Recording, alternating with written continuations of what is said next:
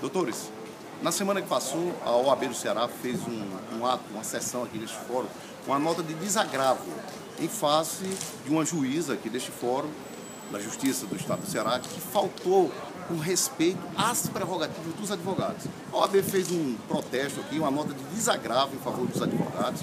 Eu participei, fiz o meu protesto também, todos já viram, está aí no Facebook, eu peço que me adicionem, Luiz Antônio Lima, porque é inadmissível violar prerrogativas de advogados.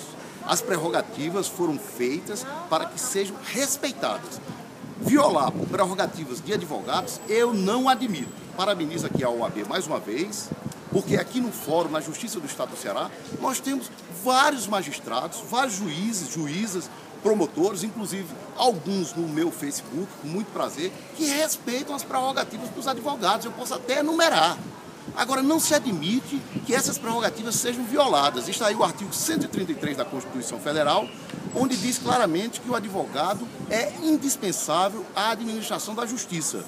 Eu estou sempre aqui.